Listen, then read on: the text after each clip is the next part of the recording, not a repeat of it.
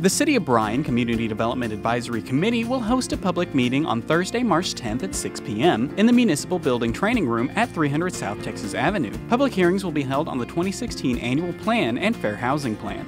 This department administers federal grants, which provide funds for activities and strategies meeting local needs and priorities within grant regulations and as funding allows. For more information, call 209 5175.